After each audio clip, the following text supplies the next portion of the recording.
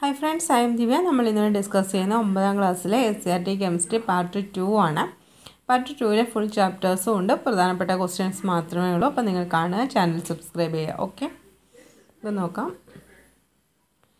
First ആസിഡുകളുമായിട്ടാണ് ആസിഡുകൾ അപ്പോൾ ഒരു പ്രവർത്തനശേഷി കൂടിയ ലോഹ ലോഹങ്ങളുമായിട്ട് പ്രവർത്തിച്ച് ഹൈഡ്രജൻ വാതകം സ്വതന്ത്രമാക്കുന്നവയാണ് ആസിഡുകൾ അപ്പോൾ ഇങ്ങനെയായിരിക്കും ക്വസ്റ്റ്യൻ വരുന്നത്. ആസിഡുകൾ ലോഹങ്ങളുമായി പ്രവർത്തിച്ച് പുറത്തു വരുന്ന വാതകം ഏത്? ഹൈഡ്രജൻ. ആസിഡുകൾ കാർബണേറ്റുകളുമായിട്ട് പ്രവർത്തിക്കുമ്പോൾ പുറത്തു വരുന്ന കാർബൺ ഡൈ ഓക്സൈഡ് അപ്പോൾ ആസിഡുകൾ ലോഹങ്ങളുമായിട്ട് പ്രവർത്തിച്ച് ഹൈഡ്രജൻ വാതകവും കാർബണേറ്റുകളുമായിട്ട് പ്രവർത്തിച്ച് കാർബൺ ഡൈ ഓക്സൈഡ് വാതകവും പുറത്തു വരുന്നു. ഇനി ഒരു ആസിഡ് തന്മാത്രയ്ക്ക് പ്രദാനം ചെയ്യാൻ കഴിയുന്ന ഹൈഡ്രജൻ അയോണുകളുടെ എണ്ണമാണ് അതിന്റെ ബേസികത.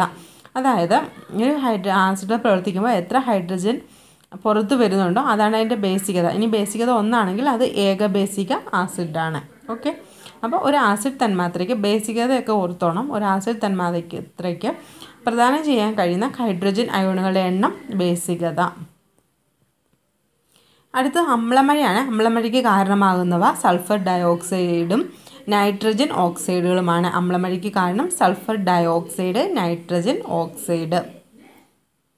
അടുത്തത് ലോഹ ഓക്സൈഡുകൾ പൊതുവെ ബേസിക് സ്വഭാവം കാണിക്കുന്നു. ജലത്തിൽ ലയിക്കുന്ന ബേസുകളാണ് ആൽക്കലികൾ. ഈ ബേസും ആൽക്കലിയും തമ്മിലുള്ള വ്യത്യാസം പലപ്പോഴും മാറിപ്പോവും. എല്ലാ ബേസുകളും ആൽക്കലികളല്ല. ഓക്കെ?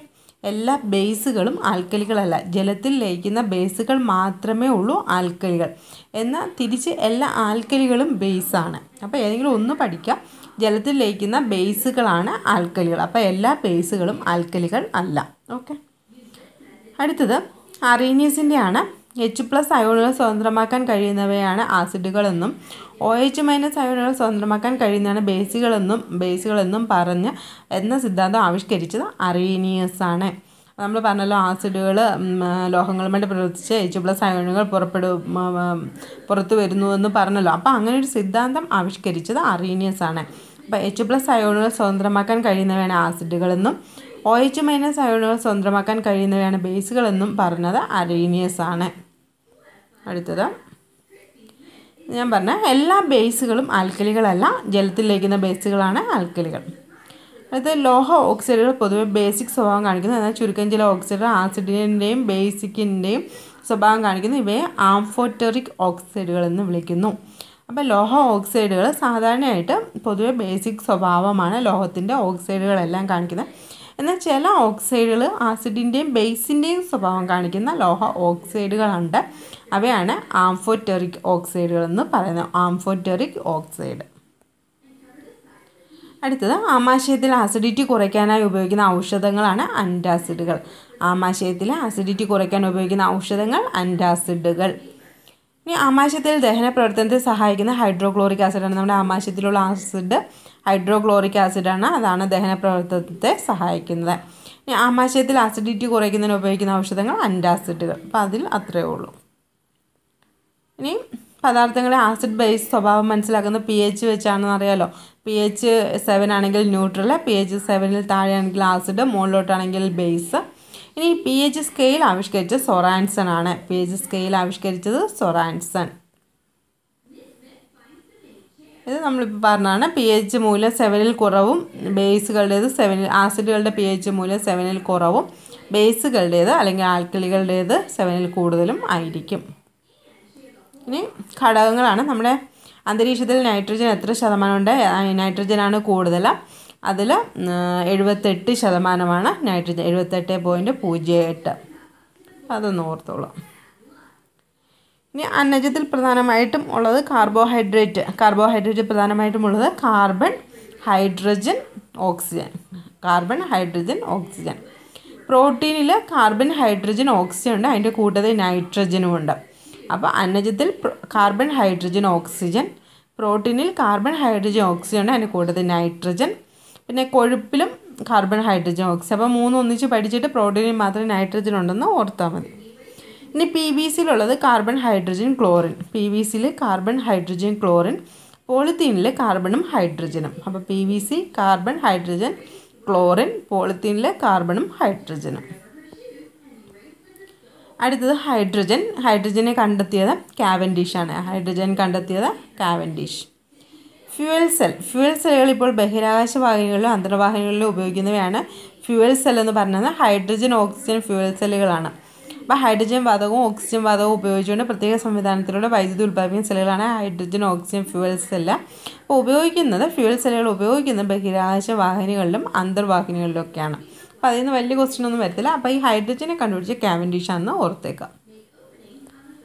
അടുത്തത് ഓക്സിജന്റെ കണ്ടുപിടുത്തം. ഓക്സിജൻ കണ്ടുപിടിച്ചത് പ്രീസ്ലിയാണ് ഓക്സിജനെ കണ്ടുപിടിച്ചത് പ്രീസ്ലിയാണ് എന്നാൽ ഓക്സിജൻ എന്ന പേര് നമ്മൾ പറഞ്ഞല്ലോ ഹൈഡ്രജൻ ഓക്സിജന് പേര് നൽകിയത് ലാവോസിയാണെന്ന് അപ്പം ഹൈഡ്രജൻ ഓക്സി ഓക്സിജനെ കണ്ടുപിടിച്ചത് പ്രീസ്ലിയാണ് എന്നാൽ പേര് നൽകിയത് ലാവോസിയാണ് അടുത്തത് ട്രോപ്പോസ്ഫിയർ ആണ്. ട്രോപ്പോസ്ഫിയർ എന്ന് പറഞ്ഞാൽ ഭൗമോപരിതലത്തോട് ചേർന്ന് കാണപ്പെടുന്നതാണ്. കാലാവസ്ഥാ വ്യതിയാനമൊക്കെ സംഭവിക്കുന്നതും മേഘങ്ങളൊക്കെ രൂപം കൊള്ളുന്നതും എല്ലാം ട്രോപ്പോസ്ഫിയറിലാണ് സ്ട്രാറ്റോസ്ഫിയർ എന്ന് പറഞ്ഞാൽ ട്രോപ്പോസ്ഫിയറിന് തൊട്ട് മുകളിലാണ്. ഓസോൺ പാളി കാണുന്നത് സ്ട്രാറ്റോസ്ഫിയറിലാണ്.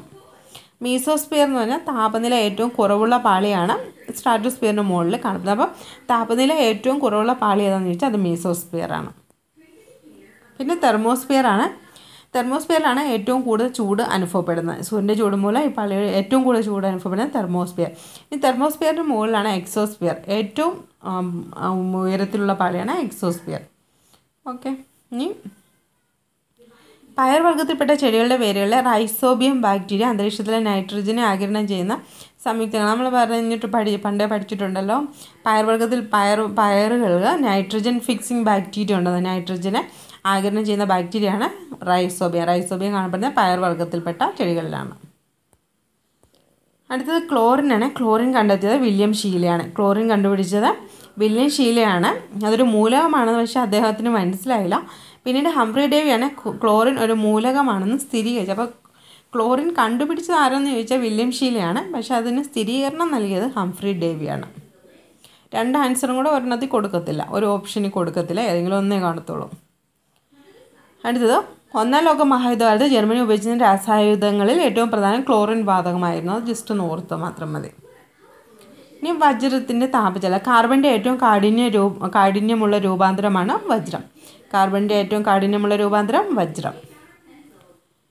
പിന്നെ അടുത്തത് വജ്രത്തിന്റെ ബോറോണിന്റെ സാന്നിധ്യം വജ്രത്തിന് നീല നിറവും നൈട്രജന്റെ സാന്നിധ്യം വജ്രത്തിന് മഞ്ഞ നിറവുമാണ് നൽകുന്നത്. ബോറോണിന്റെ സാന്നിധ്യം വജ്രത്തിന് നൽകുന്ന നിറം ഏതാണ്? നീല നിറമാണ്. നൈട്രജന്റെ സാന്നിധ്യമാണ് മഞ്ഞ നിറം നൽകുന്നത്. അപ്പോൾ അത് അത്രയേ ഉള്ളൂ. ഇനി കാർബണിന്റെ ഏറ്റവും മൃദുവായ ക്രിസ്റ്റലീയ രൂപാന്തരമാണ് ഗ്രാഫൈറ്റ്. കാർബണിന്റെ ഏറ്റവും മൃദുവായ രൂപം ഗ്രാഫൈറ്റ്. പിന്നെ ലെഡ് പെൻസിൽ എന്നറിയപ്പെടുന്നത് ഗ്രാഫീൻ ഗ്രാഫീൻ ലെഡ് പെൻസിൽ അതിനാലാണ് ഗ്രാഫൈറ്റ് പെൻസിലിന് ലെഡ് പെൻസിൽ എന്ന പേര് വന്നത്. ലെഡ് ഗ്രാഫൈറ്റ് പെൻസിലിന് ഗ്രാഫീൻ എന്ന വാക്കിൽ നിന്നാണ് ഈ ഗ്രാഫൈറ്റ് എന്ന പേര് കിട്ടിയത്. അതുകൊണ്ട് തന്നെ ഗ്രാഫൈറ്റ് പെൻസിലിനെ ലെഡ് പെൻസിൽ എന്നും അറിയപ്പെടുന്നു. പിന്നീട് കാർബണിന്റെ ഒരു രൂപാന്തരമാണ് ഫുള്ളറിൻ കാർബണിന്റെ ഫുള്ളറിൻ ഏതിന്റെ രൂപാന്തരമാണെന്ന് ചോദിക്കാം. കാർബണിന്റെ ആണ് പഞ്ചഭുജ ആകൃതിയാണ് അതിനുള്ളത്. പിന്നെ പഞ്ചഭുജ ആകൃതിയും ഷഡ്ഭുജ ആകൃതിയുമുള്ള വലയങ്ങൾ ചേർന്ന പൊള്ളയ ഗോളീയ രൂപമാണ് ഫുള്ളറീസിനുള്ളത്. ഇവ ബക്കി ബോൾസ് എന്ന് വിളിക്കപ്പെടുന്നു.